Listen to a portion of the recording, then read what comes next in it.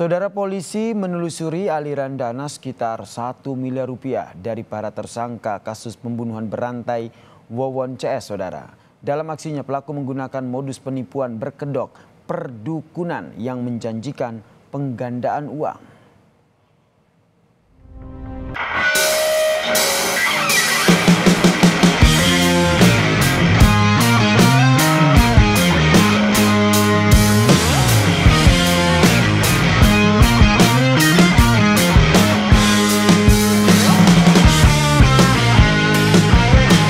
Akumulasi 1 miliar ditransfer secara berkala oleh beberapa TKW ke rekening milik tersangka Dede setiap bulan sejak April 2019.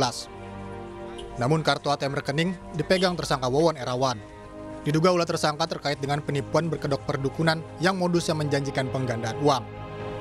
Kemudian terkait dengan adalah kita masih mendalami hasil keterangan tersangka kurang lebih satu miliar itu masih kita dalami lagi ini belum tuntas ini masih kita dalami kan baru, ini kan baru dua hari yang lalu seolah-olah bisa mungkin menitapkan dananya kemudian dengan janji-janji tertentu bisa bertambah dananya menjadi rumah yang besar dan lain sebagainya.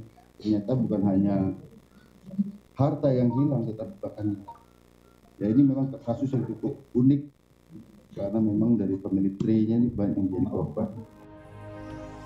Soal kasus pembunuhan berantai di Cianjur, Jawa Barat, masyarakat yang merasa kehilangan anggota keluarga bisa melapor kepada polsek setempat.